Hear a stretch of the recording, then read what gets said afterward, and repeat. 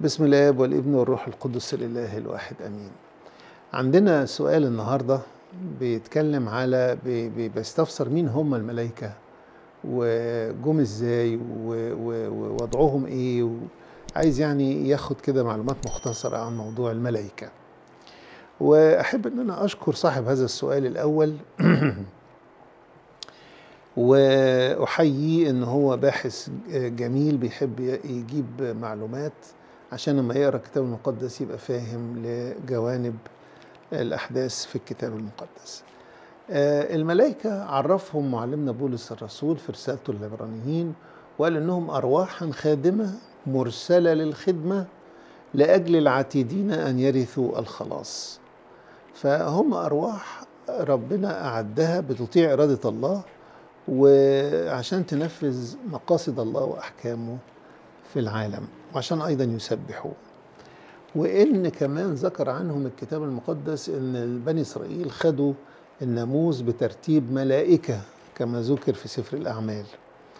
وفي حياة السيد المسيح بشروا بحبله بشروا بولادته بشروا بقيامته وصعوده وأيضا أعلنوا لنا مجيئه الثاني كذلك يوحنا المعمدان بشروا بميلاد يوحنا المعمدان. والكتاب برضو وضح لنا إن إحنا بناخد معونا لما نصلي ونطلب مرافقتهم لينا وأيضا إنهم بيفرحوا بتوبة الخطاة وربنا وكل ليهم خدمة أولاده في كل مكان. فهم طبيعتهم إيه زي السؤال ما بيقول هم طبيعتهم روحانية سمائية مجردة من المادة يعني ما هماش مخلوقات مادية مرئية خالص يعني. زي ما بيقول المزمور الصانع ملائكته أرواحا وخدامه نار ملتهبة. آه لكن ممكن الملاك ياخد صورة آه جسد إنساني. يعني ممكن الملاك هيظهر لحد يكلمه فإيه ياخد شكل إنسان بيتكلم عشان يعرف يكلم اللي آه ظهر له.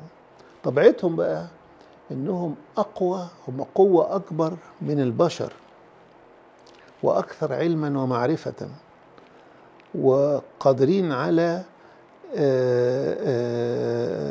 النفاذ لطبيعة الأشياء.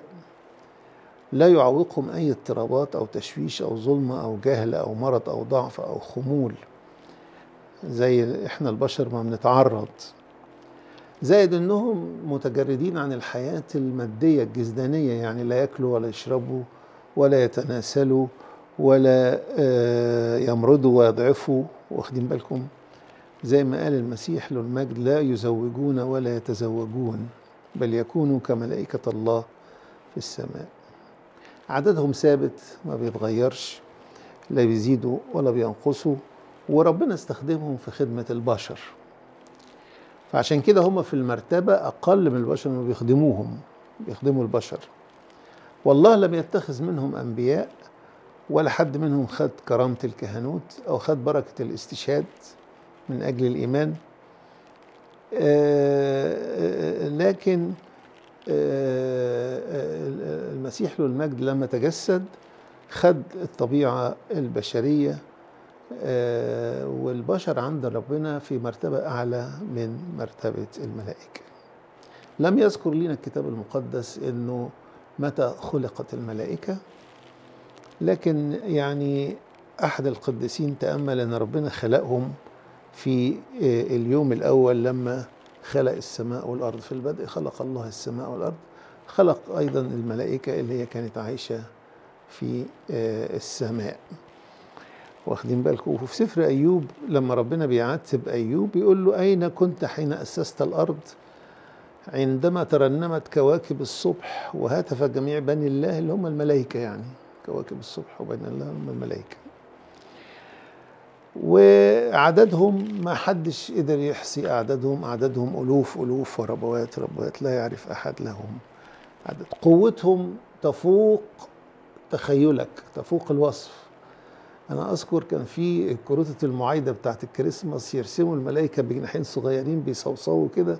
ده كلام مش مظبوط. الملاك ده الملاك ده حاجة كبيرة قوية كده.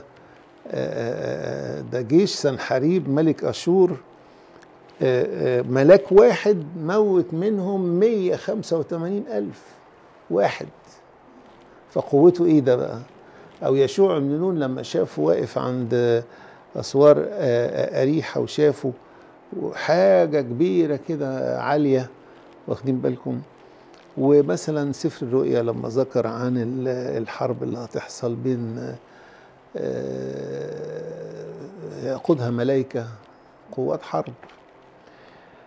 يخدموا ربنا بينفذوا مشيئته بيخدموا البشر وخدموا السيد المسيح في حياته ولحد صعوده.